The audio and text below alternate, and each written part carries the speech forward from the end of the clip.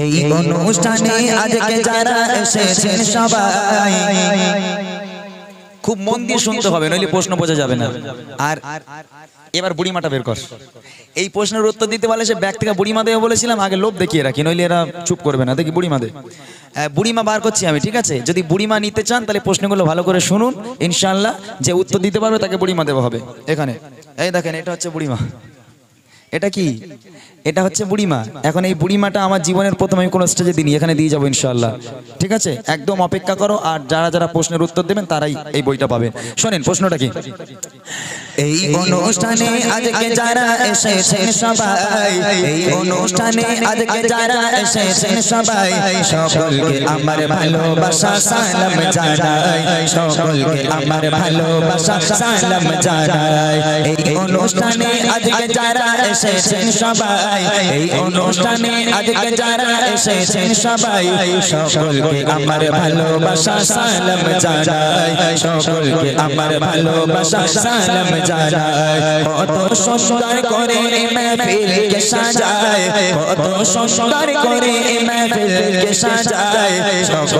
আমার ভালোবাসা সালাম জানাই সকলকে আমার ভালোবাসা সালাম জানাই সোনে সোনে কিছু সওয়াল জবাব করিব। সোনে সোনে কিছু সওয়াল জবাব করিব। সঠিক জবাব পেলে আবার উপহার দেব। সঠিক জবাব পেলে আবার উপহার দেব। ফার্স্ট প্রশ্ন, প্রথম প্রশ্ন বাচ্চাদের। কচিরা, তোরা মন দিয়ে শোন। এই বুড়িমা যারা নিতে চাইবে, প্রশ্নের উত্তর দিতে পারলে বুড়িমা হবে। মন দিয়ে শোনো, প্রশ্নটা কি? আরে আরে আরে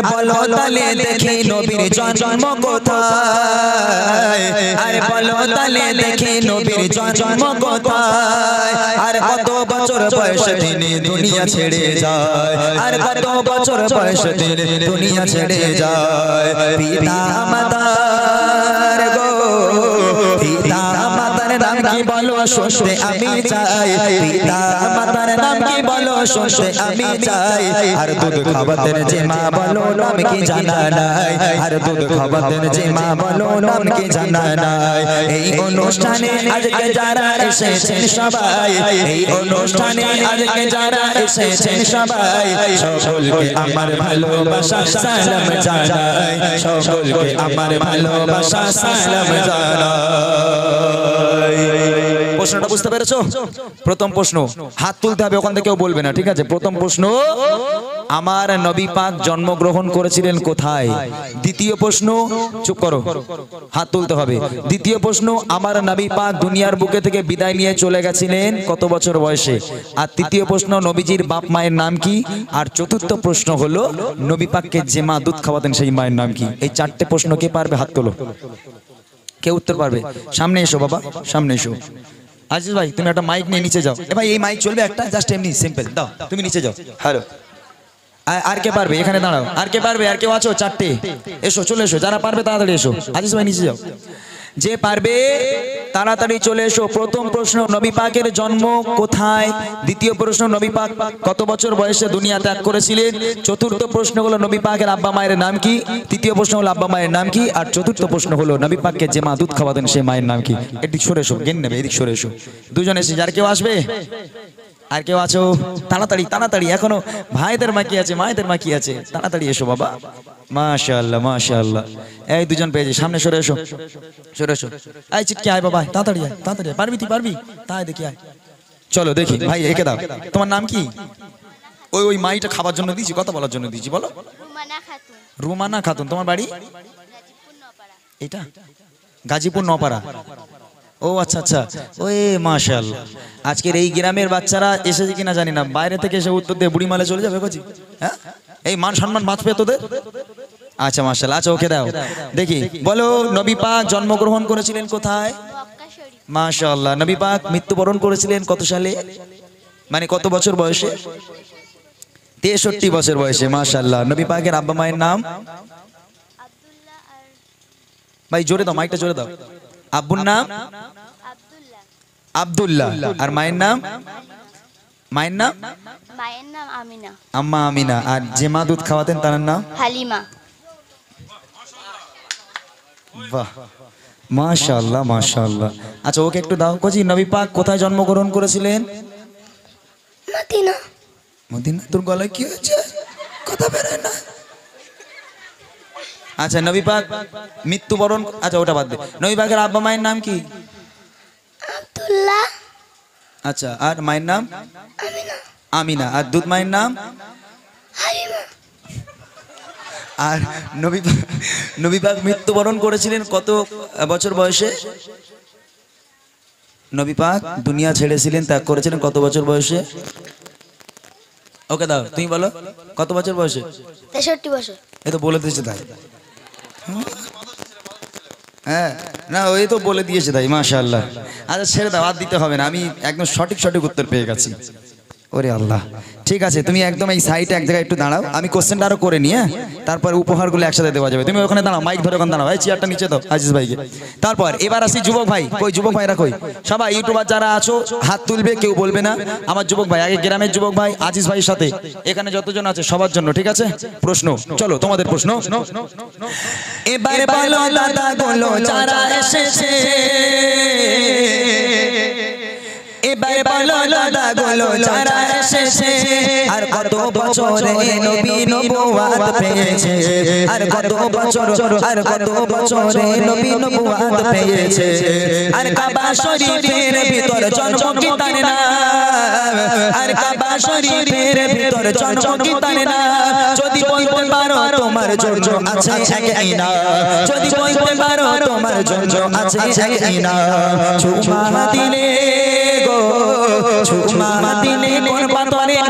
ঝরে যায়। চুমা দিলে কোন পাথরে গোনা ঝরে যায়।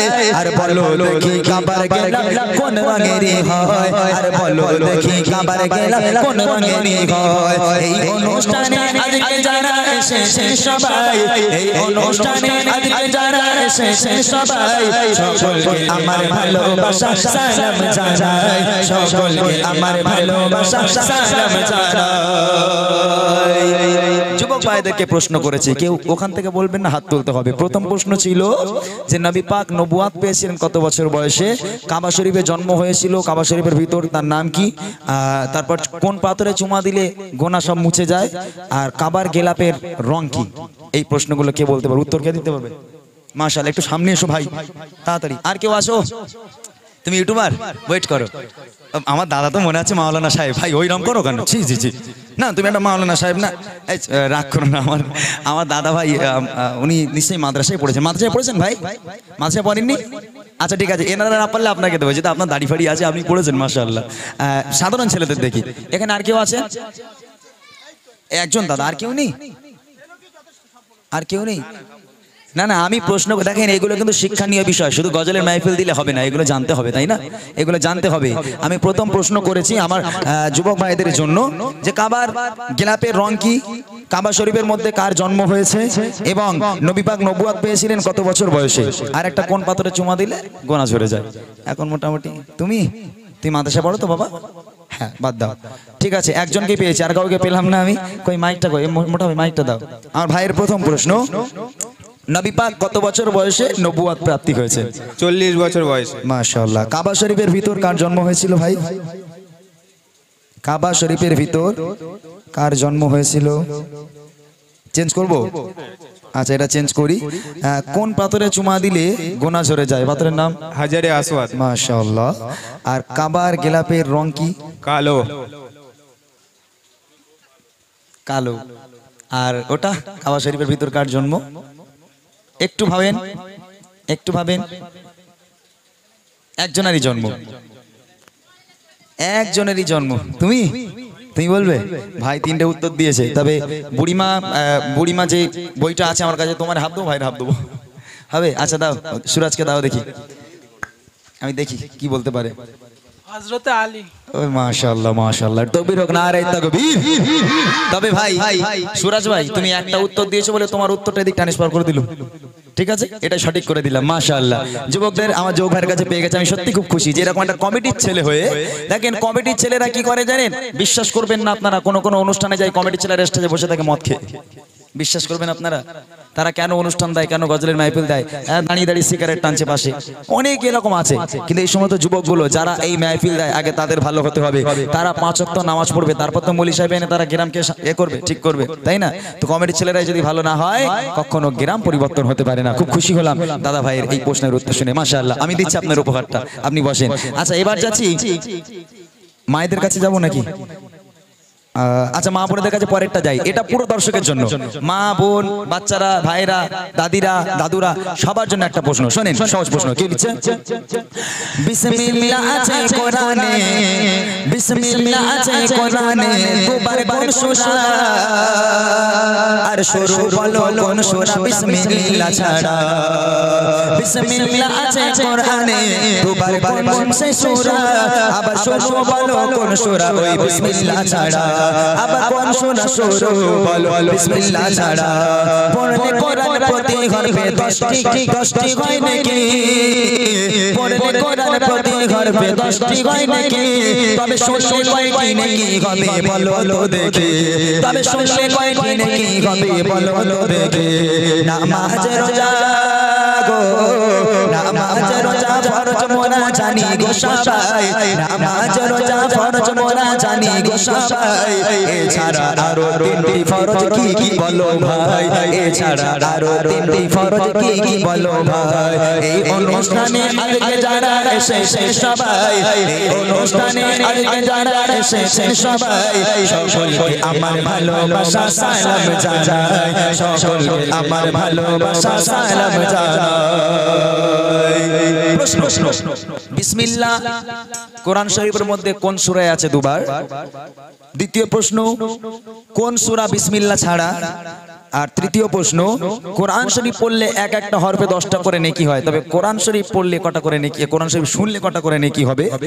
আর লাস্ট প্রশ্ন হলো, নামাজ আর রোজা ফরজ, এটা আমরা জানি। এই নামাজ রোজা ছাড়া আরও তিনটে ফরজ আছে সেই ফরজগুলো কি কি? কে পারবে? একটা সাধারণ ছেলে প্রথম উঠুক। দাঁড়া তোমরা দুজন দাঁড়াও, একটু দাঁড়িয়ে থাকো, একটা সাধারণ ছেলে প্রথম দেখি, তারপর তোমাদের দেবো ইনশাল্লাহ কেউ আছে? কেউ আছে? কোন ইসলামিক চেষ্টা? তোমরা দুজন এসো। এখান থেকে ভাইরা, নামাজ, রোজা, ফরজ আমরা জানি, এছাড়া তিনটা এগুলো জানার বিষয় জেনে নেন। আরও তিনটে ফরজ আছে, সেগুলো কি কি? তারপর কোরআন শরীফে একটা সুরার মধ্যে দুবার বিসমিল্লা আছে। কোন সূরা? কোরআন শরীফে একটা সূরাতে বিসমিল্লা নেই, বিসমিল্লা ছাড়া শুরু হচ্ছে। সেটা কোন সূরা? কোরআন শরীফ পড়লে এক একটা হরফে দশটা করে রেখি, তবে কোরআন শরীফ যে শুনবে, তার কটা করে নেকি হবে? ভাই মাইক ধরো। আচ্ছা তোমার প্রথম প্রশ্ন তুমি কোথায় বাড়ি? এখানে বাড়ি? মাশাআল্লাহ এই মান সম্মান বেঁচেছে আজিজ ভাই তোমার। হ্যাঁ নইলে গন্ডগোল হয়ে যেত। এই তোরা বস না বাবা না বসলে হবে না। বদমাইশ করলে হবে না ঘুম আমি ছাড়াবো। বসো সবাই সবাই বসো। বসে যাও সবাই। চলো প্রথম প্রশ্ন। বিসমিল্লাহ আছে কোরআন শরীফে কোন সূরার মধ্যে দুবার? সুরা আনকাবুত। সূরা? আনকাবুত। রং অ্যান্সার আচ্ছা দ্বিতীয় প্রশ্ন কোন সুরা বিসমিল্লা ছাড়া? সুরা তাওবা। মাশাআল্লাহ সঠিক উত্তর? কোরআন পড়লে এক একটা হরফে দশটি নাকি? তবে তুমি পড়ছো আমি শুনছি আমার কটা নাকি? দশটা। মাশাআল্লাহ রোজা আর নামাজ ফরজ এছাড়া আরও তিনটি ফরজ আছে সেগুলো কি কি? রোজা নামাজ হজ জাকাত বাপ মায়ের সেবা করা। বাপ মায়ের সেবা করা ফরজ নয়?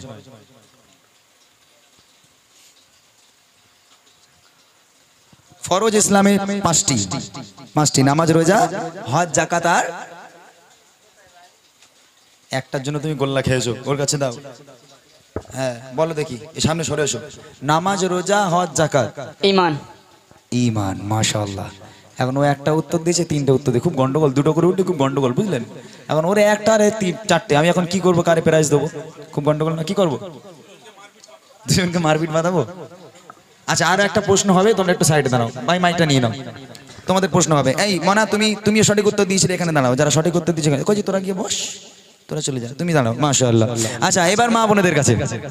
মা বোনেদের প্রশ্ন, ভালো করে শুনবেন, আমার মা বোনেরা ভালো করে শুনে আপনাদের আসার দরকার মাইক নিয়ে যাবে মাইক নিয়ে যাবে ওখানে, আপনারা উত্তরটা দেবেন। গজলটা হয়ে গেলে মোটা ভাই মাইকটা দিয়ে দিও আজ ভাইরা ঠিক আছে, মা বোনেরা শুনেন। এই অনুষ্ঠানে সকলকে আমার ভালোবাসা সালাম জানাই। সকলকে আমার ভালোবাসা সালাম জানাই। আর মা বোনেরা দেখি ভালো কে জানে ইসলাম।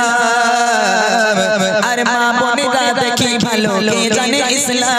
আর সর্বপ্রথম কোন নারী এনেছে ঈমান আর সর্বপ্রথম কোন নারী এনেছে ঈমান আল্লাহ তাআলা আরশ থেকে দিয়েছেন সালাম। আল্লাহ তাআলা আরশ থেকে দিয়েছেন সালাম।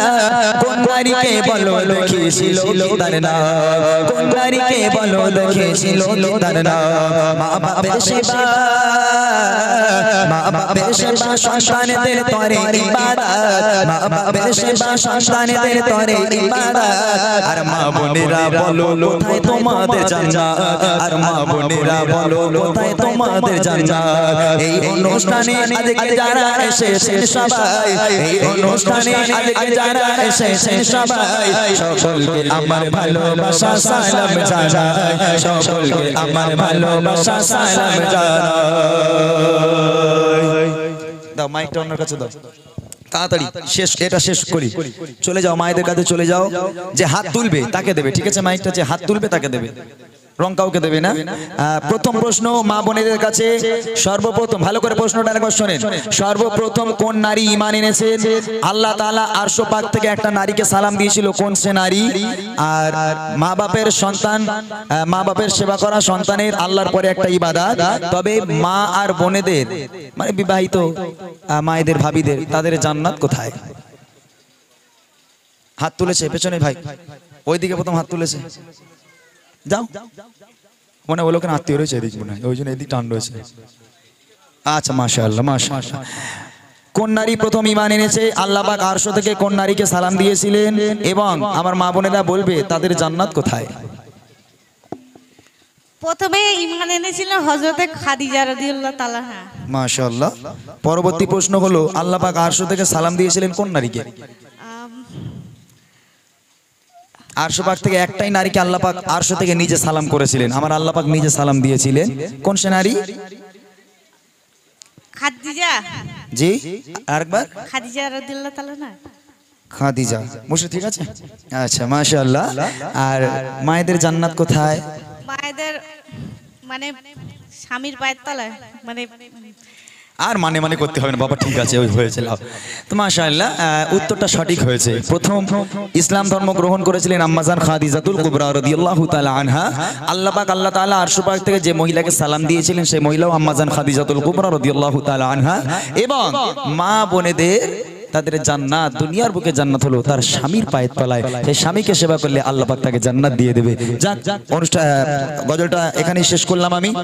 যারা যারা প্রাইজ পাবে, ওখানে একটা বোন তাকে আসতে হবে না। এখানে দুজনের মধ্যে একজন তোমাদেরকে আমি নেব আর এই বোনটা, মোট তিনজন, ঠিক আছে? তিনটে বই আমি তাদেরকে দেবো আর তোমাদের দুজন একটু অপেক্ষা করো ভাই, এক সেকেন্ড আরেকটা বই দে। এ নাও। ভালো করে বাড়ি গিয়ে তুলে রাখবে নাকি? তুলে রাখবে না, পড়বে কোনটা? হ্যাঁ? যাও, মাশাআল্লাহ, একটু তকবীর না রে, তকবীর।